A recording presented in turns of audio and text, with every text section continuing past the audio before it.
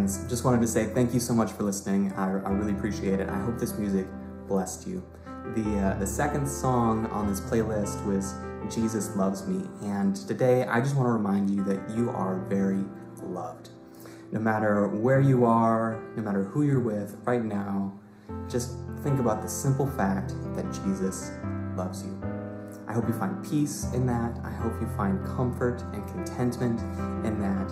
And um, I just want to remind you, you are loved. Having an amazing day. Keep listening, keep enjoying. Thank you so much. God bless you.